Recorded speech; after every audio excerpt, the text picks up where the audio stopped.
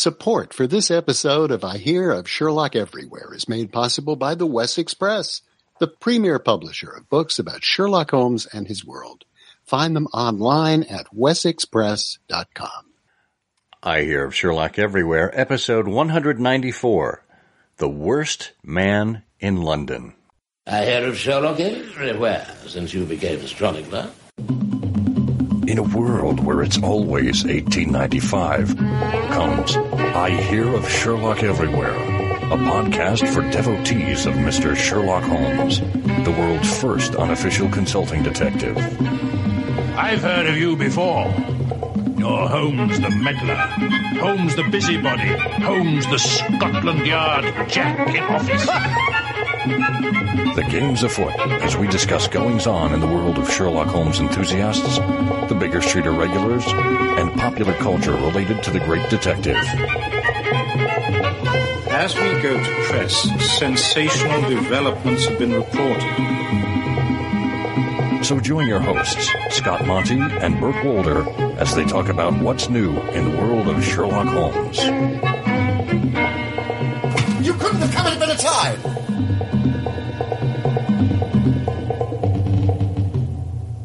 Well, hello there, and welcome back to I Hear of Sherlock Everywhere, the first podcast for Sherlock Holmes devotees where it's always 1895. I'm Scott Monty, I'm Burt Wolder. and Burt, you are not the worst man in podcasting, I'm happy to say. Well, no, there must be, there certainly must be somebody worse than me in podcasting, although it's a small, There's- it's a small bubbling pond. There's at least two dozen others. I At think. least, at least. Well, we hope to make the next hour or so delightful for you as you're listening. Uh, just a reminder, if you would like to find the show notes for this episode, you can find it at ihose.co slash ihose194, which will take you to our homepage or, or to the specific episode off of our homepage at ihearofsherlock.com. There you can get involved. You can leave us a review. You can help to support the show via Patreon or PayPal. You can leave a comment for us, uh, which you can also do by emailing us at comment at ihearofsherlock.com or calling us at 774-221-READ. That's 774-221-7323. Or just open a voice recording app on your phone and send us an MP3 connected to an email. That works too. Whatever way you choose to connect with us, we do appreciate it, and we appreciate you telling other people about the show. And don't forget, right after the interview, we have the Canonical Couplet, which is a Sherlockian quiz program where you can win a prize just for answering correctly. So stay tuned right after the interview.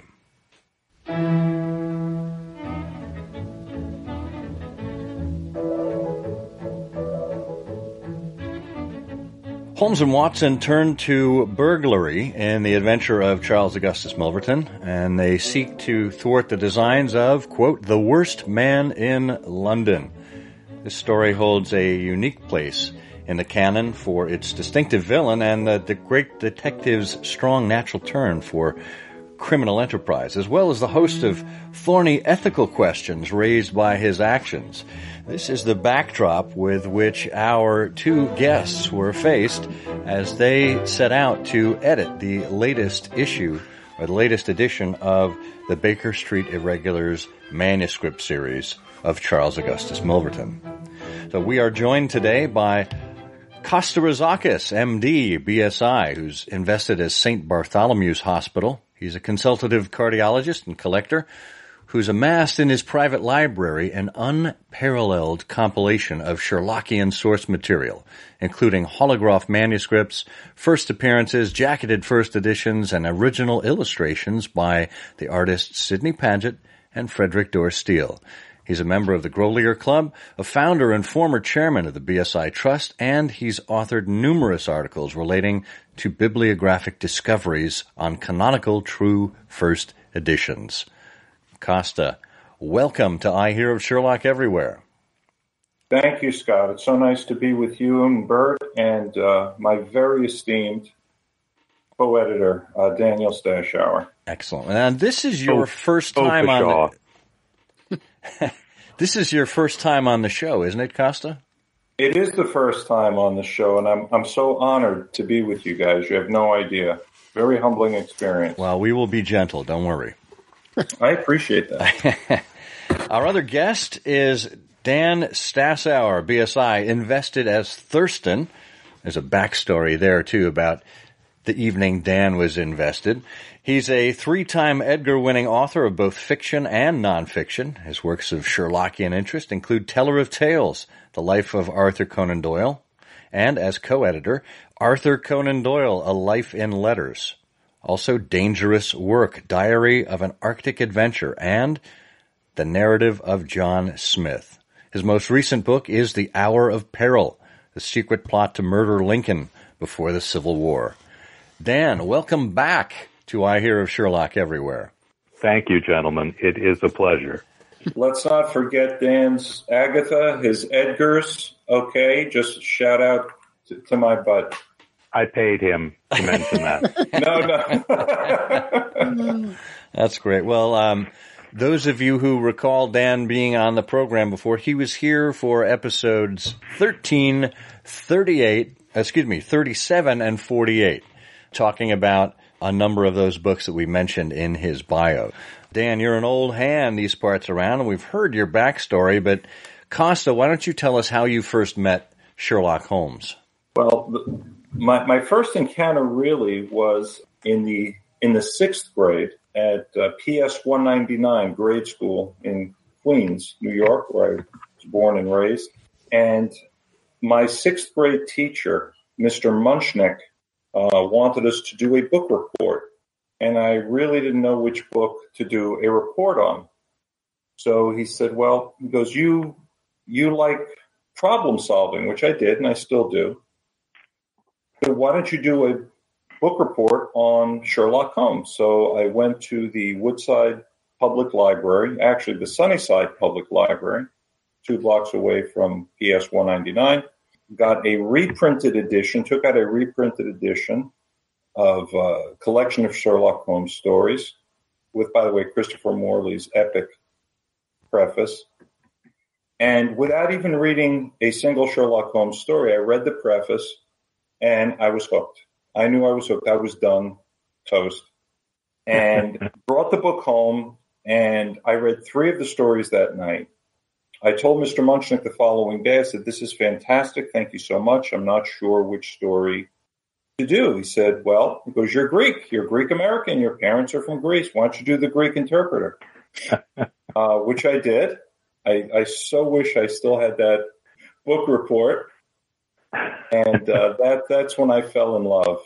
After multiple readings of the canon, you know, some of the earlier annotated editions, um, I uh, I, be, I began collecting relatively late in in my life, uh, probably about 20, 25 years ago, studying the patterns of collectors and you know what to do, what not to do, but really falling in love with the source material, first editions, manuscripts, where I, I felt, at the risk of sounding hokey, of as close as possible to the creative process of the author. But anyhow, we're going astray here. So that was my first, that was my introduction to Sherlock Holmes in the sixth grade. That's a wonderful one, and you know there there's so many instances of uh, Sherlock Holmes and different uh, nationalities or ethnicities. You know, over on our other podcast, Trifles, last year, last season, uh, we did a monthly feature called, uh, I think it was uh, Sherlock Holmes and uh, International uh, Connections. And we looked at the influence of Irish and of Italian and so on and so forth. But, you know, the, the Greek interpreter really is, is only, is, is the only instance of, uh, of, of Greek influence in the canon, at least direct uh, Greek influence. So, uh, correct, correct. What a, what a what a proud moment for you as a as a Greek American as and as a student in Mr. Munchnick's class. It was wonderful. Why don't we why don't we jump right in here and um, let's let's talk about the genesis of this this book. I mean, the BSI manuscript series has been going on for Oh gosh, 15, 18 years, something along those lines. I've, I've lost track.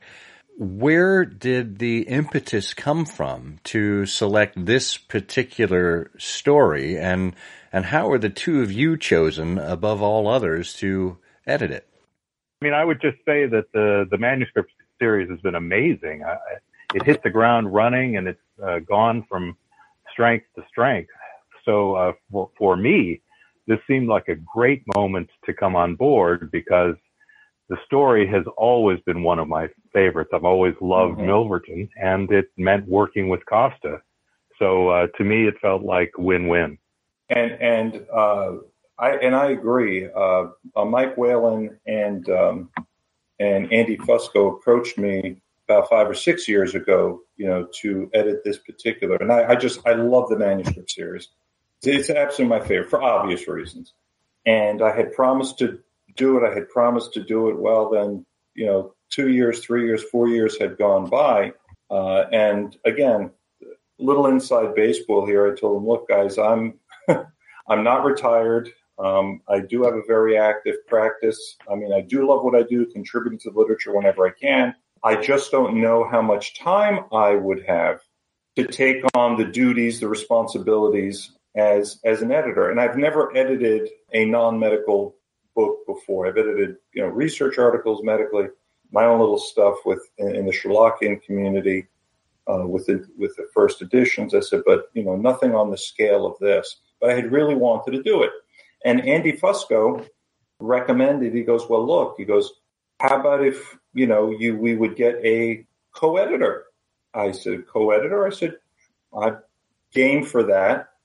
And he said, okay. Uh, about two or three days later, he said, well, what? He goes, Dan Stashower. I said, I said, the Dan Stashower? Uh, I, he goes, he goes, you know, Dan, I said, I said, Dan and, uh, you know, Jon Lellenberg had been to my house on at least one or two occasions, uh, just to go over some material from, from, from my library. I said, and I said, Dan is willing to do this? He said, oh, yes. I said, oh man, this is a, this is a home run. So the and, and without and truthfully, guys, I'm not being self-effacing here. Without Dan, this particular edition of the manuscript series would not have happened. It, it, it just would not have happened. Uh, and I'm just I feel so lucky to have had Dan involved as co-editor, and it was uh, just the stars aligned properly. Uh, mm. But that's that's the way this came about. I'm uh, sorry, Dan. I'm, I'm rambling here. Why, why, don't you go ahead? Well, not at all. I mean, uh, honestly, I uh, thank you, Costa. But and but I I knew he was going to say that. But I'm I'm bound to say that in his account of uh, my small achievements, uh, he has habitually underrated his own abilities. This was a collaboration. We went over every piece together, and Costa is good at this type of work. And also, and you know, it kind of pains me to admit this, I'm not very good at cardiology. So uh, there were limits to the reciprocity. Oh, you know, I, I wanted to help out and uh, take up some of the slack at Costa's practice. Uh, but he kept resisting uh, for some reason. He kept asking, Are you a doctor? Did you go to medical school? I'm not going to lie, it was awkward. You guys know that that's not true, right? so narrow-minded. So let me ask you a question, Costa. You you mentioned a few minutes ago one of the attractions for you in collecting was getting close to the creative process. Yes. Tell us a little bit about the creative process of editing. I mean, Dan, maybe we could start with you because the lovely thing, you know, and there have been a lot of books in the manuscript series, but this is really, really good, you know, and it's so tough because the editorial structure, you know, you have this, you have bunch of collective voices. You have a story. There are so many different topics. Putting it together so that all of it has a collective impact, so that the, the diverse voices work together, so that the final product is really interesting is a challenge. And I've read lots of books that have been edited and brought together various essays that have been unsatisfactory uh, because that hasn't been handled well. But Dan, tell us a little bit about how you came up with the editorial structure for this, the voice, uh, selected some of the participants. There's no easy answer to that because uh, a, a, there were a lot of different factors coming into play. At the beginning, when Costa and I were talking about pieces we we would like to have uh, have in the collection, there were subjects that we particularly wanted to have handled that were obvious, obviously relevant to the story. Mm-hmm. And sometimes there was an obvious person out there who could be matched up with that subject, and sometimes there weren't. And then in other cases, we were very fortunate in being able to get a contributor who had a particular area of expertise that we could uh, that we could exploit and and take advantage of. And I'm I mean I'm thinking just one example would be Russ Merritt right. on uh, on films. But the, the point you're making about about the uh, the thing coming together and having a structure that was very very important to us.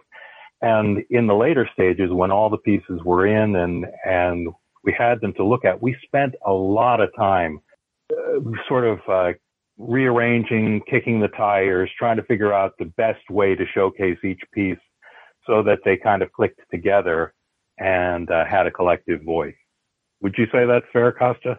I absolutely would say that so. And it was, it was, that was the most fun part, by the way, is, is, is how we piece these together at the end. And, and Dan and I, thankfully, thankfully for me, uh, we, we were in sync you know, probably 95, close to 100% of the time.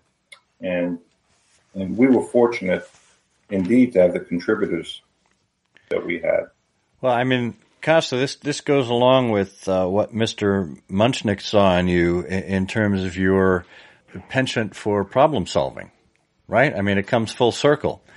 Well, little things. I, I, I like when things align up and when plans come together.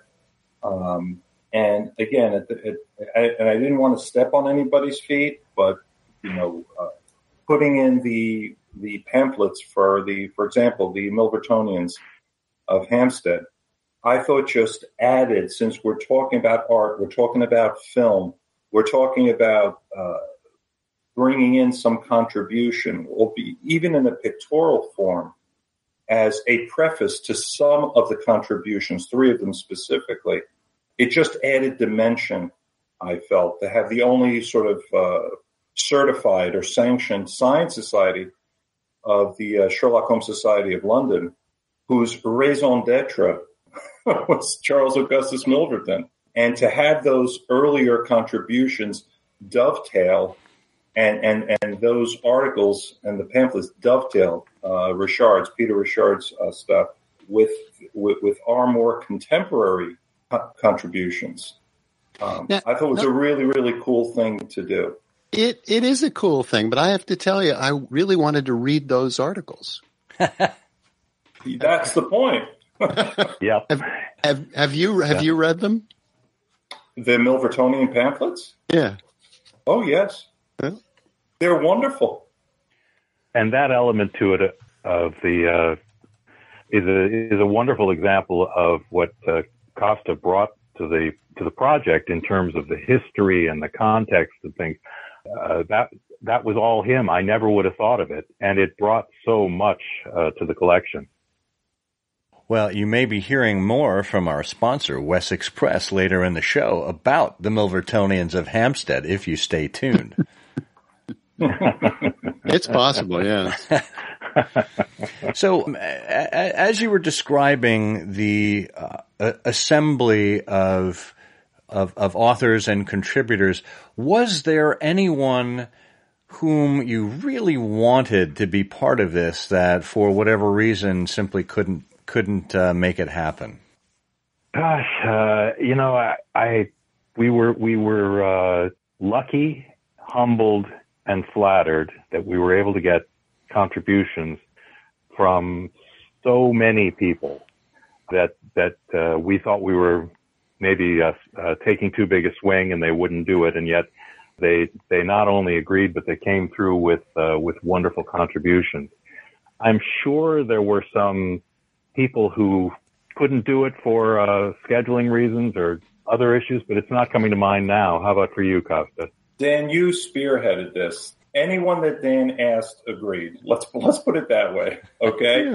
Um, the only person who was really on the fence was yes, no, yes, no. Um, for you know, and he was busy. He was in the middle of doing you know some work related things. Was Otto, and it was a little disappointing because Otto, you know, initially said yes. Then he said he really doesn't see how he would be able to do it, and he then, fortunately for us, capitulated. You know, who better to do, you know, the great crooks, uh, you know, than Otto Penzler. So via Dan's gentle prodding, put together a star lineup. Uh, and, yeah. and, and that, that, that was Dan. That was yeah. Dan. Well, I, thre- I, I, I, threatened his life. and, uh, yeah. One of the things that our listeners will find in the book, you know, is this sort of wide selection of articles. So you've got, you know, some terrific pieces by example Jonathan McCafferty, who writes about one of my favorite subjects, Charles Augustus Howells, who back in the 1860s was yes. probably an inspiration for Milverton. You've got Nick Utechin on the location of Appledore Towers. You've got Otto's terrific essay on the great crooks, which is really fabulous.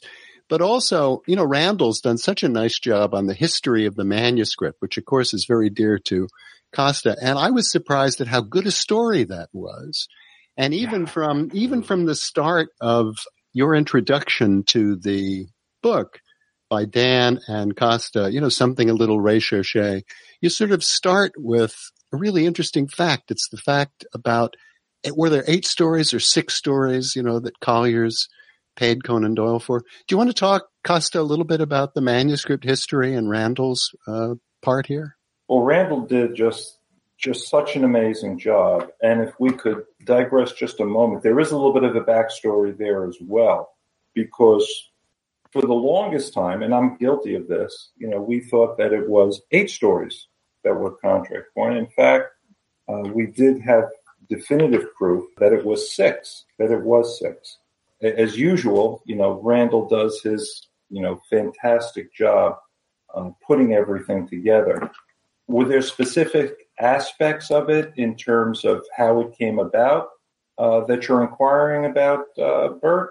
No, I'm just, I'm just wanted to get, you know, your perspective on the manuscript history because in reading Randall's um, section, in addition to being continually impressed by his research, you know, which is sort of an ongoing thing that happens when Fantastic, you look at, yeah. at, at Randall's work product, the, the the manuscript history is sort of like shining a flashlight on the whole on the whole on decades of interest and involvement in Conan Doyle in manuscripts in auctions in great irregular personalities. And I just thought it was a great it was a great story. It's a wonderful story. And uh, you know the return the entire collection of the return is you know fascinating in and of itself um, that you know certainly the collected works you know, the American and the English.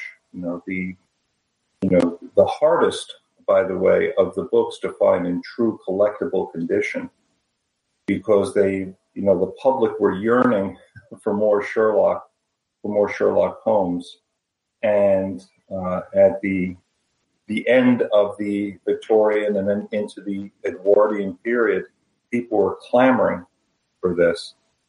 Uh, and uh, the, the stores were just read you know, absolutely read to death. As you can see from Randall's article, um, it's amazing how they were put together, uh, truly. And just from a sort of, you know, a nerdy standpoint, this is the way Conan Doyle operated. Uh, not unlike Mozart, uh, he would have a story, he would have characters, names, plots in his head. And with rare exception, would lay the story out completely in manuscript form and would send it to his typist. The typist would type it, obviously, and typically two or three copies were sent out to both the American and the English, Collier's and Strand.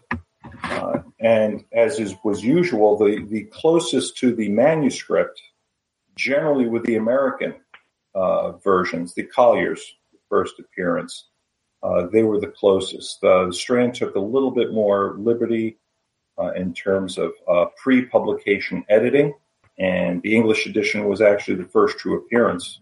Milverton in uh, March of 1904. Strand, the Milverton didn't appear in the Strand magazine, UK, until April of 1904.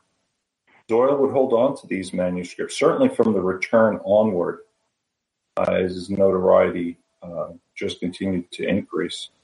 Knowing that, you know, at one point, waiting for the millionaire who would never materialize.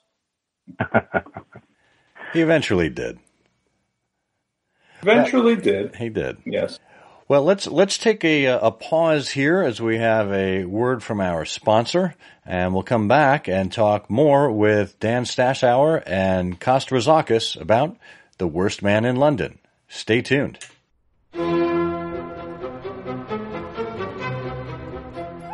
The unique features of the Milverton case have inspired Holmesians for years, but none more so than the Milvertonians of Hampstead, the first and only scion society of the Sherlock Holmes Society of London, a group which devoted itself uniquely to one canonical tale.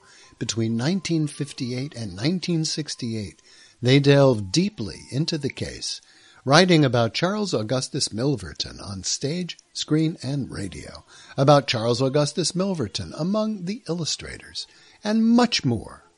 These publications were produced on a shoestring and seemed lost forever. Now they can be yours.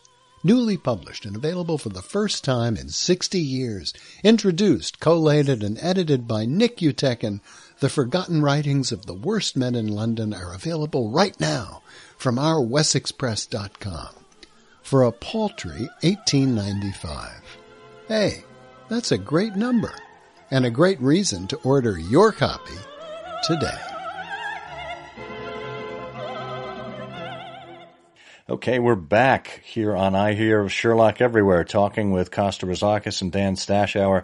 You know, Costa, we we stopped uh, just before the break talking about the history of the manuscript. I'm interested in in your involvement because this you, you've collected a number of uh, notable items and manuscripts from uh, Conan Doyle are part of that. But this was your your first Sherlock Holmes manuscript, and this is a doozy. I mean, it's it's it's got to be all downhill from here, right? I don't know about downhill, but certainly different. Um, and it, it, it is a doozy. It is a doozy. And well, I was fortunate enough to get uh, one of the early uh, Frederic Dorr Steeles depicting uh, Milverton. Um, but to say that it's all downhill, eh, I don't know if it's all downhill. Well, I, it's, it's, you, it's kind of you to say. Um, if if this but, is your um, first, though, I mean, what what it is? What yes. what prompted you to participate in in that auction of all others, and and what what spoke to you to to cause you to want to make the purchase? Well, first of all, I absolutely love the story. Number one. Number two, I was clamoring for a Sherlock Holmes manuscript. Um, number three, uh, the fact that it came paired, married to the Frederic Dorr Steele image of Milverton just added exponentially um, to the to the lot for me. So I really I went after it hammer and tongs, and I, I was fortunate enough to to get it. You know, uh, Costa was talking earlier about this sense of uh, of awe that you feel in being close to Arthur Conan Doyle, the creator, when you're handling some of these materials and studying some of these materials. And it, it, it made me think of a, a moment I had um, very early on. I was doing some research uh, at, um, at, at Cambridge, uh, Cambridge University in England, and I particularly wanted to see the uh, archive of letters back and forth between Conan Doyle and Oliver Lodge. And I filled out all the paperwork and I, they brought them to me in a case and, and I don't know what I was expecting, but what I was not expecting was envelope after envelope after envelope of actual letters, the actual letters in Conan Doyle's hand, uh, coming out of these boxes. And my hand started to shake because I, at, at that point I had never held a document that Conan Doyle himself had held. uh, you know, it's happened a number of times since, but that was the first one. And I'll never forget the feeling of the whole world faded. All the details went to, went to black around me. It was just me and the letters and, uh, uh, this, this sensation of holding a document that Conan Doyle had uh, written with his own hand. Um, uh, it just, uh, just took my breath away. And, and does it ever, I, I mean, Dan, you you have obviously written extensively about Conan Doyle. You, you know, the title of uh, your biography of him was "A Life in Letters." Um, does that feeling ever fade for you? Uh, uh, I'm still waiting to see if it happens. It it hasn't yet, uh, and it's been, uh, I guess, um, 25 years or more since that that day in Cambridge. And uh, as I mentioned, I, you know, it's happened a number of times since that I've uh, that that I've held documents, but that but there are still things, and particularly things in in Costa's collection that uh, that that that make my hands shake still. Costa, as as a collector, this this has always interested me, uh, because every collector has their own relationship with their material. Um, how often do you handle the the documents or or pull out the images? I mean, how how closely connected are you with with uh, what it is that you you collect? Well, I'm going to parse that out into two because those are two questions. Uh, in terms of how closely connected I am, I feel very closely connected. That feeling that Dan so beautifully illustrated to you before, uh, the feeling that's still with him after all these years. Okay. Um, I, I, I do feel that, and I continue to feel that. Um, it is something that um, I feel responsible for. I feel that I'm a ward to this. I don't own this stuff. I don't own it. I'm its ward that that's why I put the library together. And this is for uh, this is for me to share. This is for other people to enjoy. This is for any little insight we can to really appreciate Doyle's genius in storytelling. A revolutionary way of getting to beginning, middle, and end, all within a 20 to 25 minute read um, I feel very strongly about. Um, so it is a it, it's a personal connection for me. With regards to how often do I how often do I handle this stuff? Um, some items, um, a couple of years can go by, and I really don't don't handle it. Uh, I look at it fairly frequently, but in terms of handling it, um, you know, and, and I I love when projects come up uh, because it's an excuse for me to reacquaint with some of the items in you know in my library. Yeah. Do you, Dan, uh, Costa? Do you find? I mean, I just wanted to dwell a little bit more on this um, question of connection to the creator. You know, one, there have been so many biographies of Conan Doyle, but but Dan's um, is the best. Let's it not. really is. It really is. is the best. It Absolutely. really is the best because you know you really get. First of all, Conan Doyle was such a remarkable man, and the nice thing about Dan's biography is that you really get all of those dimensions. You know his his military advocacy, his concern Yeah. for justice, his government, everything. You know, really lovely. That whole, in fact, Dan's biography sort of begins with that archetypal picture, that cartoon Conan Doyle dot drew before he died of the horse and the cart labeled with all those boxes. But do you find, um, Costa, in your collection, um, deepening your affection for Conan Doyle because you, you find, you know, and Dan mentioned it in, in the handwritten note, you know, you see how he phrases his communications to other people. You see, you know, what's on his mind and, um, do you find your affection for him deepening? Oh yes, and and admiration growing. Mm. Um, absolutely. There are. So I, I don't necessarily collect letters, uh, but one of the letters, uh, you know, in, in, a touch of irony, and you know, even even the master storyteller would get things wrong, as as, as we all do every once in a while. Uh, where he is writing, and it's not in front of me. I would read it to you verbatim, and I apologize for not having it. It's, it's I'm not in my library right now. Um, where uh, he responds to a letter to a certain lady and says that after much thought, uh, that Sherlock Holmes is not fit for dramatic representation. That his talk about irony. I mean, how could could he have been more wrong? And I so love that letter.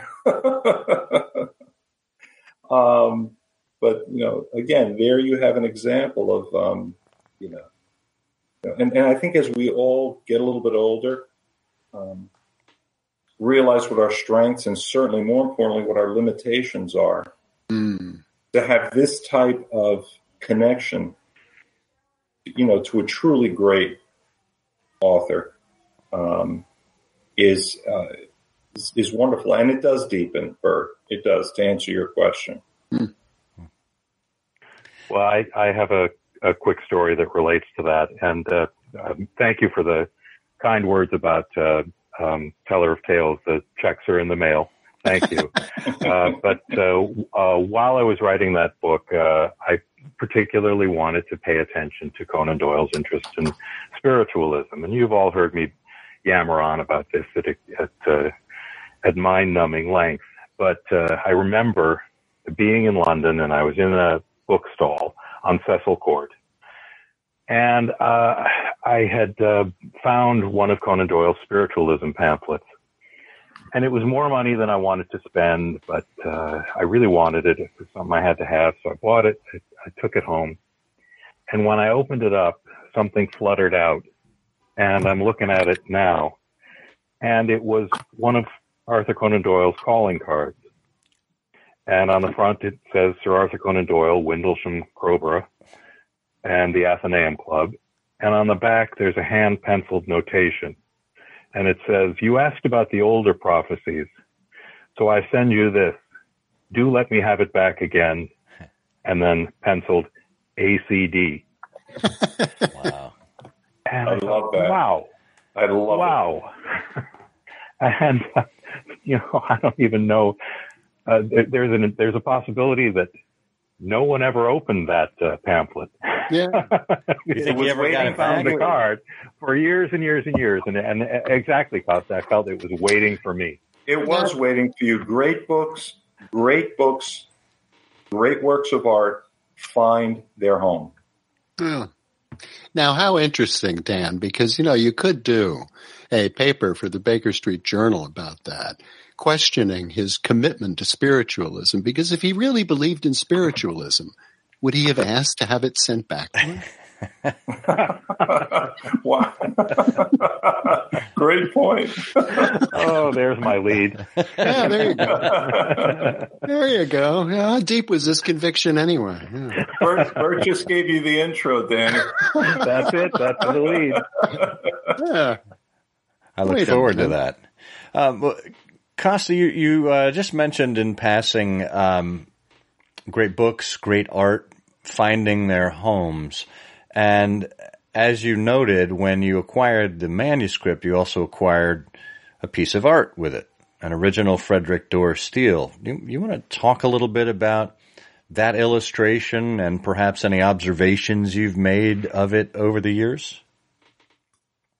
Um, I, I certainly knew that it was you know, a very early, uh, possibly the first, and I do believe the first uh, illustration of um, Frederic Dorr Steele.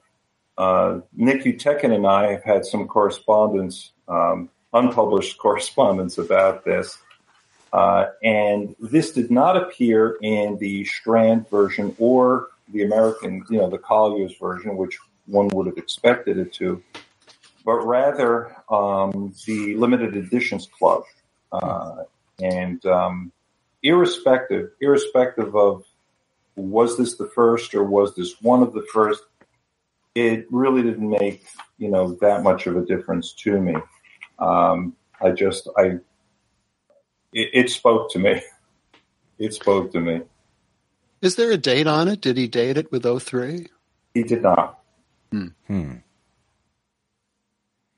Well, and this is the image that provided the uh, the background for the the cover design on the jacket cover, right?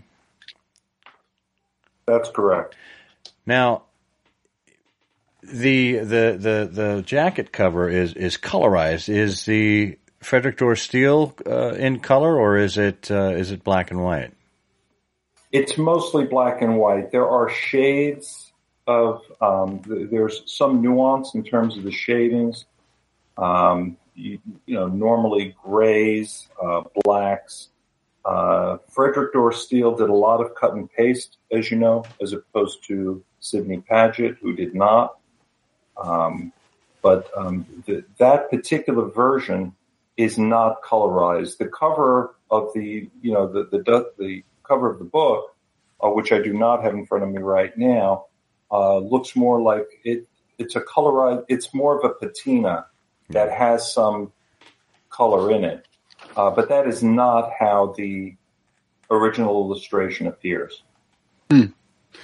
Yeah, Steele, um, you know, he favored an orange color. He developed around 1900 sort of a, a method he invented to simplify plate making, and so he would frequently use these orange casts in his uh, Mhm.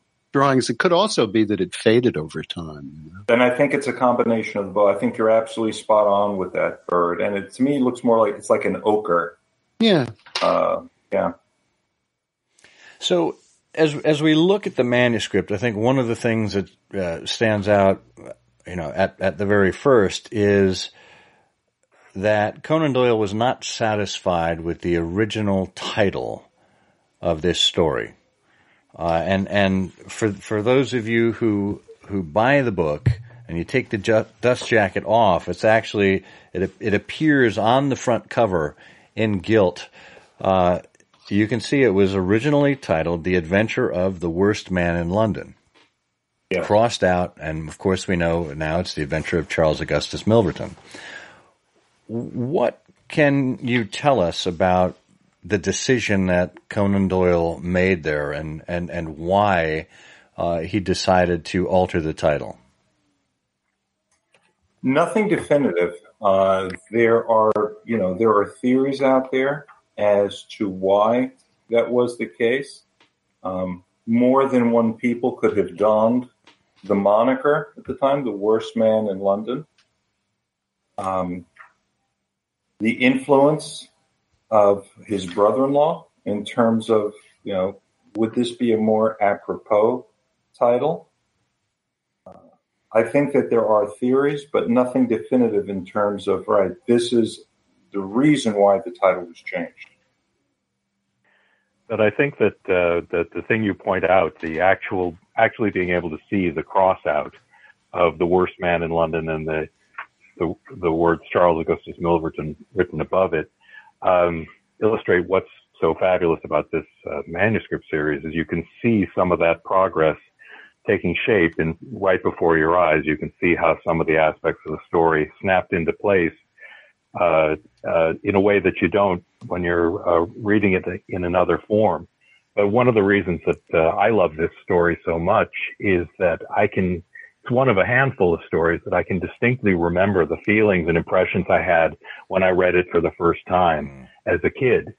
And it's so funny that, uh, that he, in, in, to my way of thinking, that he, uh, abandoned the worst man in London because for me, uh, it was one of those phrases that just jumped out like to Sherlock Holmes. She's always the woman and, uh, uh, the footprints of a gigantic hound. It was just one of those magical phrases that leaps off the page and, and takes root. And I just remember loving it the first time, loving that phrase the first time I read it and, uh, and, and it's stayed with me ever since. And and you know it's interesting, Dan, because Professor Moriarty gets all of the headlines, get, gets all of the the, the, Yeah. the accolades as far as villainy in the canon, and we really don't know that much about him or his operation, other than what Holmes told us about his his interaction with him, and of course the way the story ended. Um, you know, until you know, insert coda until return came along. Um, Milverton, in many ways, is a much worse villain or, or a more ideal villain than Moriarty because we get to see him up close. We get to see the insidious nature of his business and the way he thinks about it and plans and inflicts damage on uh, the unsuspecting around London. Um, do you think He, Charles? he lays all his cards on the table, Scott. It's He just does. as you say. He lays all his cards on the table, which makes him particularly vile. Uh, and as we were speaking earlier, you know, again, Moriarty, clearly the choice, you know, who could be a worse man than Moriarty? Well, Moriarty operated in the shadows. Uh, this guy's in your face, lays his hands, lays his cards right on the table for you, unabashedly. and and and even more so because he knows he's untouchable, or at, at Yes. least he thinks he's untouchable at that point. Um, which you know he's he's kind of just twisting the knife. Just a, a, a an amazing characterization of a villain by by Conan Doyle. But to to return to the the genius of Conan Doyle, if the worst man in London is one of those uh, deathless phrases, so too is the Napoleon of crime. Once heard, never forgotten. That's right. He Yes. certainly had a Yes. way of uh, uh, he certainly had a way with words. That Arthur Conan Doyle. Yeah, he did. So, as we wrap up here, uh, just thinking uh, in, as an overview of the manuscript, um, other than the the title being changed and that's standing out, what else in the manuscript stands out uh, to you? And let, let, let's start with you, Dan. Oh, uh, in the manuscript? Yeah, Well, it's just uh, um, just to be able to uh, uh, look at it and see some of the crossouts and the uh, the things that were scribbled in, the things that uh, the choices he made along the way uh, are are wonderful and illuminating. But as always, I'm I know that uh, that sometimes we're not seeing a, a first draft, but it has always amazed me with whatever piece of manuscript I'm looking at, whether it's uh, the, the manuscript of a story or a novel or a letter, how um, clear, concise, and um, free of error his uh, his prose is uh, when he's setting it down on the page. Uh, I know this is an observation that a lot of people uh, um, make, but his prose is remarkably fluid. And I think the place where you see that uh, most clearly illustrated is in his correspondence, which is uh, can be even though even when he's talking about the most mundane of subjects, there is a lyrical quality to the prose that gets me every time. That's a great observation. Uh, What about you, Costa? Having had this manuscript in your collection now for over 20 years, uh, what stands out to you? Uh, again, crossing out that title is just fantastic. Um, and as as just to echo what Dan had said in terms of just laying thought and and plan to paper, um, you know, Doyle uses words as a painter uses oils and pastels, just lays them out beautifully. Um, with, with again the, the the Mozart of storytelling, just has it all in his head and lays it out. Uh, so, do, does anything particularly stand to out? Point a phrase. Yeah. Yes. To coin a phrase. Um, I would say that you know the, just looking at it its entirety, uh, and then mulling over every single word yet again um, was was just a again I, I I learn something new every time I look at it. Um, just just an amazing experience. Mm. And and many of his it's interesting as well. You see this with a couple of his manuscripts. He he did not do it in Milverton, but say for example in the Lion's Mane, um, he would actually cut and insert some passages in other manuscripts of phraseology that he particularly liked. Um, his hand is different on some of his rare corrections, sort of a broader stroke, a uh, sometimes in in uh, in purple pencil, interestingly, and you can almost sense him getting fatigued. And if you notice the way that he he's got a beautiful hand, the beginning of a manuscript versus the middle versus the end, you can tell when he starts to get a little bit tired. The font, the letters themselves, they become less sharp, and then you, you, you can almost sense when it's when he's writing first thing in the morning. Hmm. it's tighter, it's crisper, but it's just it's it's a joy to behold. Well, it's a joy to behold a conversation with the two of you. And from the Napoleon of crime to the Mozart of storytelling, I, I think we've, we've covered it all here. So thank you both for joining us and telling your tales about the worst man in London. Thank you so much. It's been a pleasure. Thank you. Thank you, Scott. Thank you, Burt.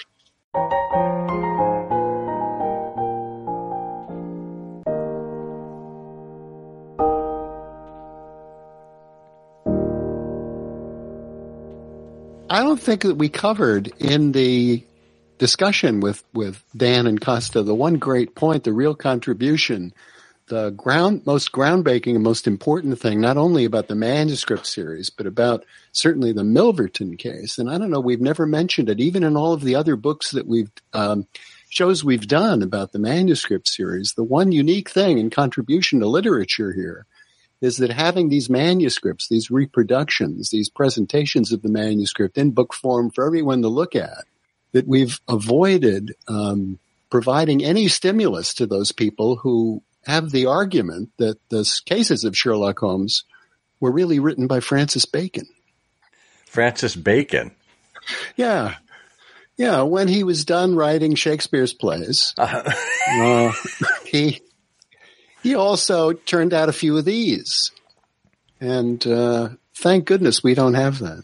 But you know, the lovely thing about this, about the manuscript series, which we really should have called out, but it's nice to see it again. The general editor of the series is Andy Fusco, and there's a preface to the series in which Andy um, really does a lovely job about describing the inclusivity of the world of people who are interested in Sherlock Holmes. And it's not just people who annotate manuscripts and write um, certain articles, certain certain more scholarly articles.